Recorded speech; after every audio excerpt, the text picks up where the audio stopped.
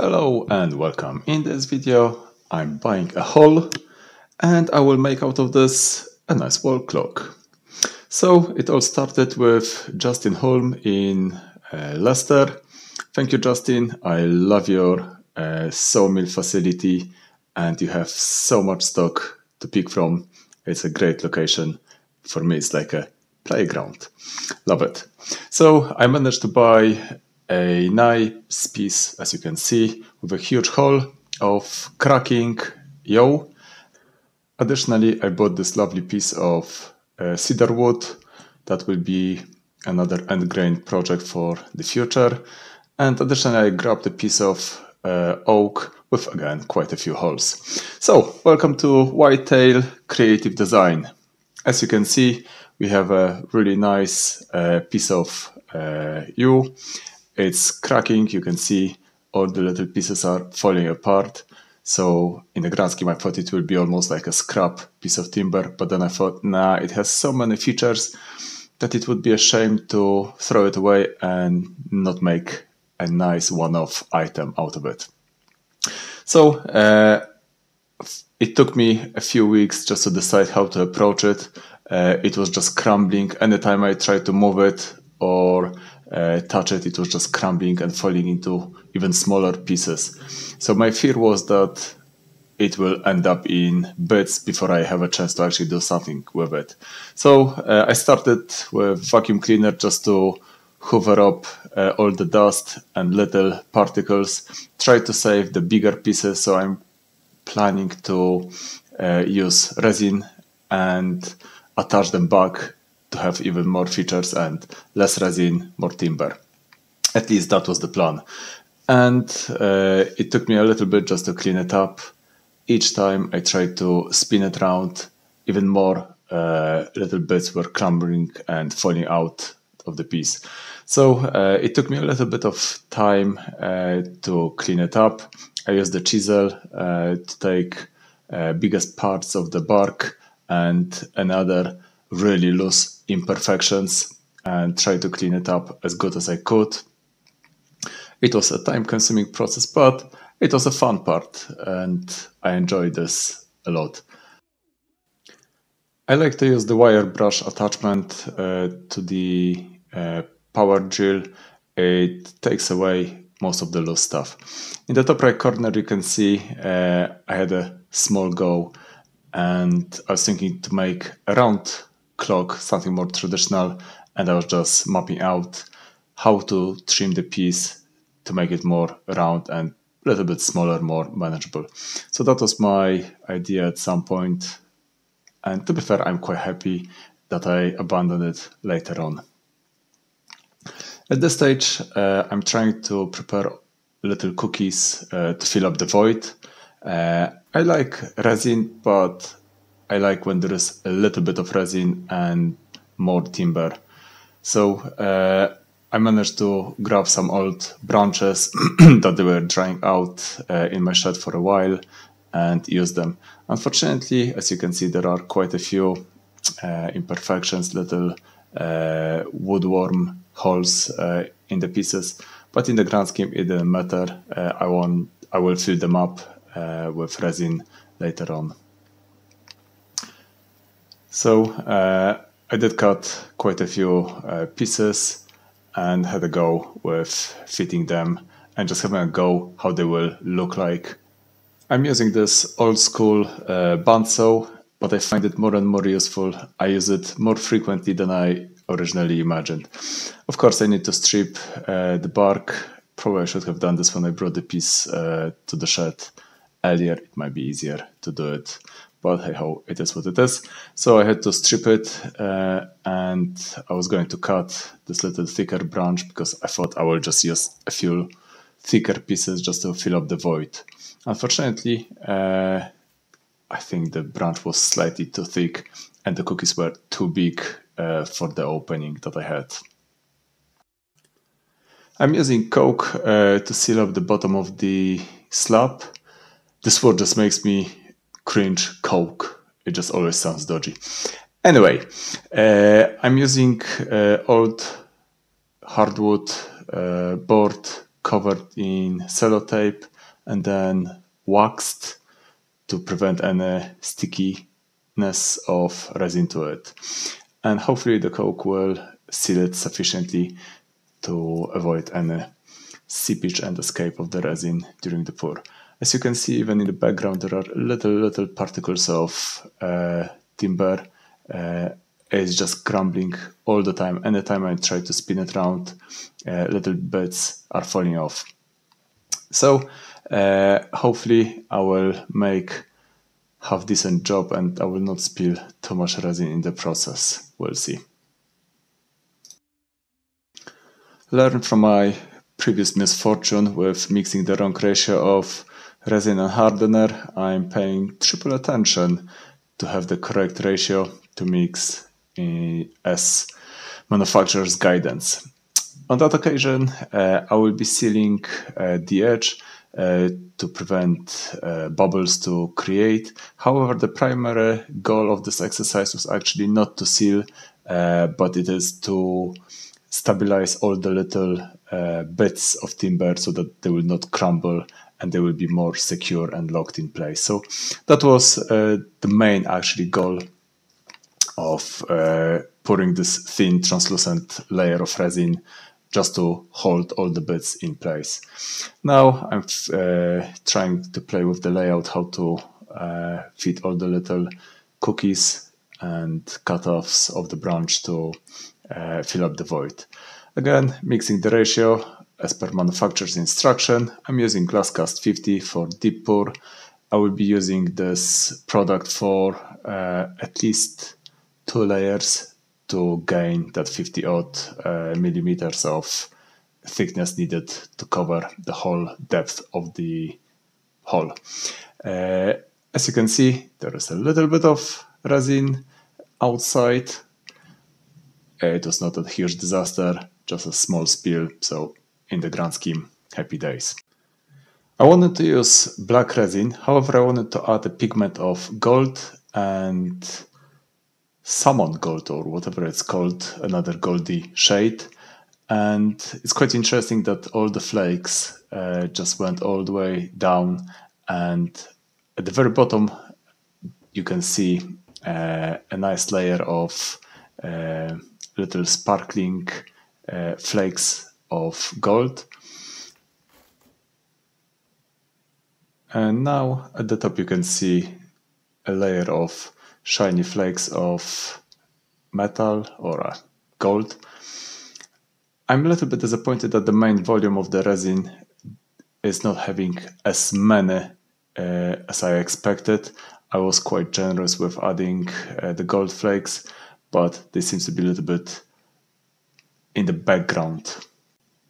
Now is the messy part. Uh, I hate using router without dust extraction but when I'm using sled, there is no option how to attach it. So you can see plenty of dust and it's just a, not, not a nice uh, place to be. I'm using the hoover to hover up as, as much as I can as I go.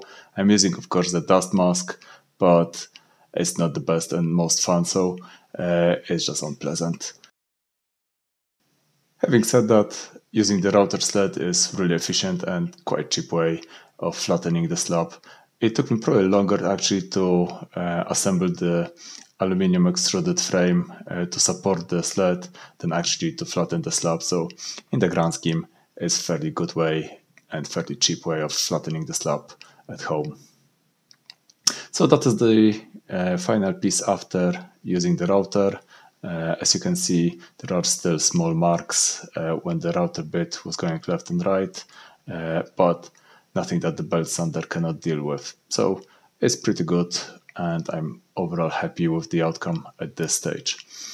So it's time uh, to become a dentist and play with the little tools, dental tools to extract little dust out of the woodworm uh, holes. It took me a couple of minutes just to go through all the holes and prepare them uh, for the resin to saturate them and fill up the voids at the next stage. I got this dental uh, pick kit from Amazon. I think it was about five, six quid. Uh, it's not amazing quality. You can see the tip uh, has already bent without applying too much force, but it's doing the job, so can't complain about it. Now it's time to uh, seal the bottom uh, because the timber is still well cracked and I want to ensure that there will be no further seepage and escape of the resin. So I seal up what I think is all the voids going through just to make sure that it is all nice and secure. It is the first time that I'm using aluminium tape and I'm really pleased with the effect. It's uh, quite efficient. Uh, probably it's a little bit more tricky actually to peel it off in comparison to sellotape. So now I'm inspecting if I covered all the holes. In the meantime, in UK, the temperature dropped to 2 degrees uh, in the morning, hence I moved the slab uh, in-house uh, so that there is more consistent temperature and I'm playing with the syringe, filling up little voids. It took me probably 20 30 minutes uh, to fill them up. Of course, I had to uh, top up on a few occasions when the resin penetrated through the holes all the way. But it was a really nice and easy process. A couple of hours later, I had a little inspection just to check the level of the resin and it was all good. I started to use the uh, butane gas uh, instead of the heat gun. Definitely the blowtorch is way more efficient when it comes to popping up all the little bubbles than the heat gun. So from now on, I'm just using the blowtorch. It's a way nicer and better tool to use. I tried uh, to scrape off uh, the excess of the resin uh, by heating up with the blowtorch, uh, with the heat gun, and then using the chisel. But it was just not working properly and somehow it was just cumbersome. So I just thought, let's move on to the belt sander. And to be fair, the belt sander, except creating loads of dust, was really good tool to use. It was really efficient and I used grit 80 uh, and then I moved on to grit 120 and I'm really pleased with the outcome. And it was in the grand scheme quite quick. The belt got blocked on few occasions. I had to swap the belt once or twice. Uh, the resin is usually blocking this one. Now I'm just uh, marking up where to cut uh, the edge that I made uh, and I wasn't really happy with. So now I just mark up where and how I would like to use uh, to cut it off. And I'm using uh, the bandsaw. Probably I could improve on the support of the piece it's maybe not the best one. Uh, the table could be slightly bigger to support the piece more firmly. But in the grand scheme, I was able to manage this and I was happy uh, to do it by hand. And again, uh, I'm starting to like more and more my bandsaw. It's just such a useful uh, tool. Once the piece was uh, trimmed on the bandsaw, I moved again to the belt sander uh, to smooth it off and just take any excess and any imperfections done by band. So again, a couple of minutes of uh, playing with the belt sander did the trick, and I was quite happy with the outcome. Now uh, going to the uh, final sanding stage. Uh, my intention was to stick with 120 180 grit as required by Rubio Monocoat to get a good penetration uh, when it comes to oiling part. However, there were so many cracks and voids uh, that I filled up with resin that it was really hard to uh, make a distinction between the resin part and the timber part. Now I'm using the CA glue with activator uh, to fill up little tiny imperfections. And another lesson, I was probably too generous with uh, activator and you can see those little uh, foam up bubbles of glue. So the lesson is use less activator. And thank you, Ian, for the tip. I will remember it and I will use less activator. I think it took me uh, three goes at filling up the little holes because each time I used the sandpaper to smooth it off, new uh, voids, new bubbles uh, came up that I had to fill up. So now I was just playing with the layout, how to uh, mark up uh, 9, 12, 3, and 6 uh, for the clock. And I would love to have probably a Rockler um, press drill, portable per, uh, press drill, instead of using this uh, piece of metal for the drilling. It's still good. I like it. That's the best one I can have uh, at the minute, but that's the one that probably I would upgrade in the future. I'm using a 10 mil drill. I know that the shaft for the clock is 9 mil, so it will give me 1 millimeter of the clearance, so it should be fairly easy to fit it later on. It is the first time uh, that I will be using the uh, masking tape with CA glue to attach little pieces of 6 mil uh, hardwood plyboards uh, to make a jig for the router. Later on, when I tried to peel it off, it actually was quite easy and it did the job. So I'm quite happy. That's the little upgrade how I operate in terms of the setting up a simple jig for the router. It was really easy to attach and it was really easy to peel off. I'm using quarter inch shank bits for the router, which can normally accommodate half inch shank. And again, I started without dust extraction uh, to be able to see better what I'm doing. The downside is, of course, the amount of dust and mess created in the workshop. Now I have plugged in my uh, dust extraction, so it just improved a lot uh, collection of the dust. However, the downside is that I cannot really see uh, what I'm doing, so I had to check uh, frequently the progress and observe if I'm not making any mistakes on the go. And so far, happy days. Unfortunately, a few seconds later, when I had another go at the next pass, you can see all good with the router bit. And now, can you spot what's happening? All good, all good, all good. And now you can see little sparks flying. And then if you miss them, in the top left corner you can see little sparks. And now we should be able to see them again. That is the downside now of using the dust extraction because it blocks and I cannot really see what is going on. And what has happened? Have a look. Let's spin it around. And the little bearing just collapsed and disappeared entirely. If I would be not using the dust extraction, probably I would be able to spot it earlier and luckily on that occasion, no damage, nothing really happened. Now I'm just checking the minimum thickness needed for the shaft of the clock. Uh, I think the spec said between 9 and 13 mil. I left 11, so it should be good to go. Then I thought that it will be nice to round off the edge so that it will be easier uh, to change the battery every 9-12 months. Hence, I thought the little chamfer edge, I think I'm using the quarter inch, no, half an inch uh, radius bit uh, to round it off. Uh, I think I just went slightly too deep and you can see that little little line around it, but nothing that the sandpaper cannot fix. And the final outcome was that the edge was really nice and smooth. Now I'm marking up where I would like to position uh, holes uh, for the main rope uh, to hang it. The whole piece is fairly heavy, and I didn't fancy to hang it in the middle like a picture frame. And I thought I will just go with the rope and attach it at both ends, and that way it will be easier to make it level and uh, a little bit easier to hang it. I thought I would be able to use my uh, cordless drill. Unfortunately, it was not man enough and not powerful enough to do it. Uh, hence, I had to switch to my corded Bosch power drill.